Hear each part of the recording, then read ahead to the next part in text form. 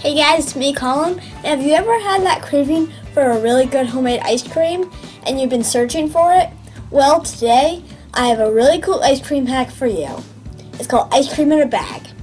You only need two plastic bags and a few other really simple ingredients. The ingredients you're going to need for this are ice cream salt, ice, vanilla extract, half and half, sugar, and one gallon bag and one quart. Step one is put your ice in your one gallon bag. Your bag should be about half full of ice, and then you put in half a cup of rock salt. Then let's set that up and put it to the side and start on our ice cream mix. Now we're gonna make our ice cream mixture. We have half a teaspoon of vanilla extract and one cup of half and half. So we're just gonna take this and pour it in.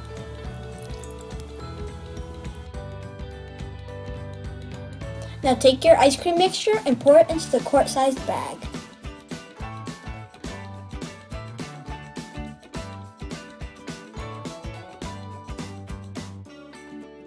Now pour in two tablespoons of sugar into your ice cream mix. Now zip up your mixture here and put it into your bigger bag.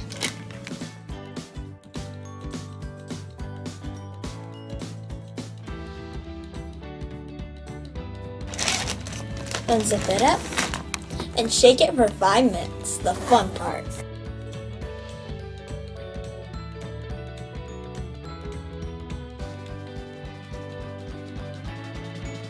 This is really hard to shake because every like minute your hands feel like they're frozen.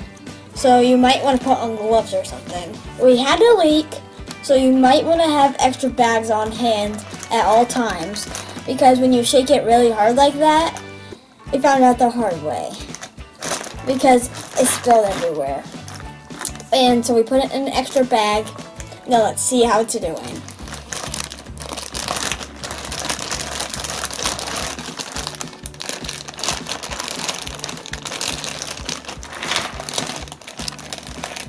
Wow, it's a lot more firmer, but it's still not done yet.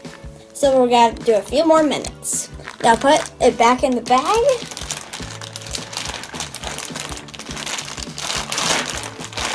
Zip it up. Zip the other bag up. And keep shaking.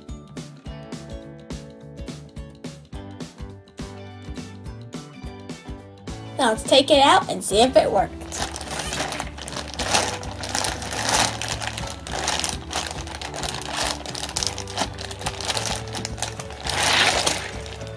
It's a little wet, let's dry it off.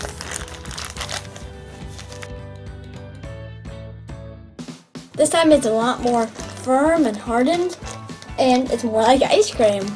So let's try it out. Oh, that smells really good. It worked. Let's take it out and try some. Here's what it looks like. Now let's try it.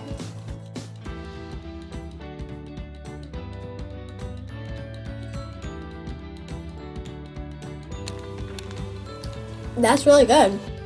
Tastes like if you make it with an ice cream maker. That's really good. I definitely recommend this. It's a really good vanilla taste. Not too much sugar, not too little. It's perfect. I like it a lot. I never thought I'd say this, but this literally is the best ice cream I've ever had. It's amazing. I definitely think everybody should try it because it's a lot simpler than getting out like your big mixer and all those hard steps and stuff. And it's a lot better. Well, that's all for today. Remember to subscribe. See you later. Bye.